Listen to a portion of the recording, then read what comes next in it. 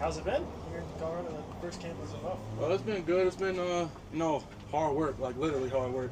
Coach Prime don't play, and then uh, me being an incoming freshman and uh, having a big role as, uh, as I do, I got to come in and, you know, can't be the 19 year old that I am, you know.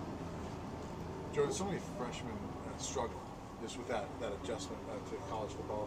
Where do you feel like you are in that regard? Do you feel like that you're acclimating pretty quickly? Do you feel like you're catching on? Yeah, everybody struggles. I have bad days in practice, but uh, I'd rather it happen in practice than on the big field. You know, um, I'm not perfect at what I do, but I'm gonna try to chase perfection. So that's that's really where I'm at right now. You feel like you fit in well, like physically and all that, though?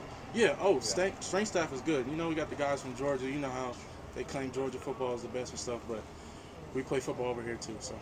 Jordan, it seems like there's been quite a few scraps between offensive and defensive line on the field here Yeah. during practice from what we can see. Can you speak to maybe that competitive nature of the team this year and the edge you guys want to play with? Passion. Uh, I feel like the O line last year lacked passion, and right now we got a lot of it. We got a lot of dudes. We're just going at it. Same dudes. Uh, one dude might have a bad day today. Next day is, oh, I'm getting back at that guy. So I feel like passion is what uh, this offense and defense has the most, and uh, integrity, like with them themselves. Just self integrity. Transformed your body a lot going all the way back from the beginning of high school to now. It feels like you even leveled up a little bit between the time you got here on campus. What does that look like to, for you and kind of what has gone into that?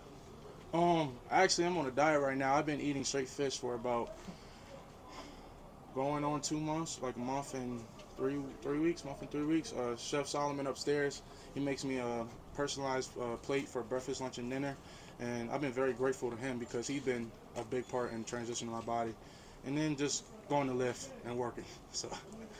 What is the experience compared to based upon what you thought it might be when you were getting recruited, when they were pitching things to you? Has it lived up to the billing?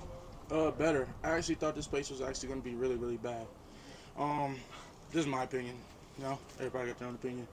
But I took a risk, and then me coming in and having Coach Prime and everything he told me that he was going to do, he did. Everything that Coach said uh, he was going to do, he did. And not as far as like, it's better than what I thought it would be. You know, like you got the mountains. I never been out here. I'm from I'm from the D.C. area, Maryland area. So it's like I'm city boy. Out here we got mountains. You get like a sunny day every single day. I never had that before, so that's good. And it's like I'm back at IMG with the Florida weather here. You know? So you weren't being sarcastic. You thought it was going to be bad. No, I'm dead serious. What, up, up until when? My first day. My first day here. I was like, oh yeah, I like it. What did you think it was going to be? When you say Oh. bad, Bad, like nothing really too crazy. Just like, mm as far as bad, like.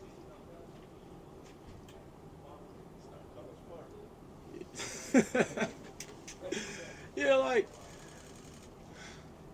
you don't know how much money we bringing in here. So like you know, like you go to other uh, universities like the Big Tens, the SECs, they got ten billion dollar contracts, all crazy stuff. So it's like, you know, I thought I was taking risks, but then coming in here, it exceeded expectation. We actually have a great facility. We actually spend a lot of money on food, as you can see, which I was talking about, and everything's just exceeded expectation from the littlest things to the biggest things for me. You know? So you Oh, that's said you so you t- said you thought you were taking a big risk. What was it that made you commit, even though you felt like it was a big risk? it wasn't like a bad risk. It was more of like taking a chance on myself. You know, not too many people want to go to the I, I call this underdog school. You know, a lot of people want to go to a school that's built, uh, a school like Georgia, the Bama's, like where it's like your next guy up. But here it's like you never had no five-star offensive lineman coming here. You don't have a Travis Hunter coming here every time. You don't have a Shedeur Sanders at Crew every time. So it's like a risk in that area. Not really like it's going to be bad or it's going to be a, a terrible place to live in. Because if it was terrible, I wouldn't even think about visiting the first time. Um, I was very selective of where I went to school at. Um, so just uh, just a risk as far as like there's nobody else to do it. So it's like now it's like you can really be the first, and, and like that. If that makes sense to you guys. are the older guys cool with you? yes. Because you know NFL, they carry pads and there's hazing. It just happens everywhere. You'll, you'll find that out at the next level. They, that's what they do with rookies. Hazing, hazing. Hazing. You know what hazing is? Initi- Rookies got to carry their pads. Oh, oh, like in the league. Yeah, in the oh, league. like, yeah, that's te- Well- mild, but that's the Yeah, average. yeah, Freshman yeah. initiation. Yeah, uh, we don't really have that. For me, freshman initiation is just like listening, you know, like just listening to the guys in front of me.